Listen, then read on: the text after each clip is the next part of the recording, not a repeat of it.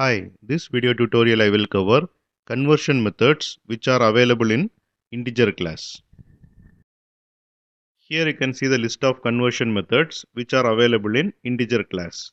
Using these conversion methods, we can convert uh, integer object to string object and uh, string object to integer object. And uh, similar kind of conversion methods available in other wrapper classes like uh, byte, short, float, double, etc. If you want to know more about integer class, then go to this uh, JDK documentation.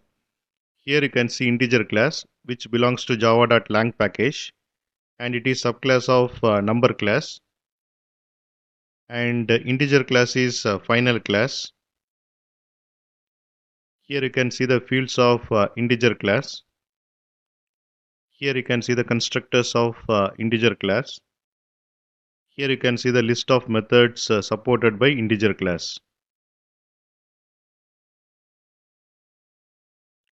Here I have defined a wrapper class test. It has a main method. First I will run this program, then I will explain.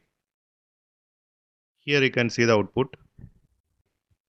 Using decode method, we can convert a string object to integer object.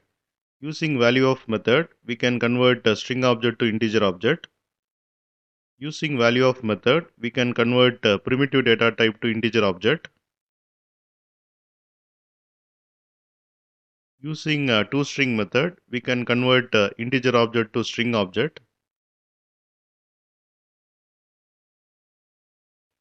Using a parseInt method, we can convert a string object to primitive data type uh, int.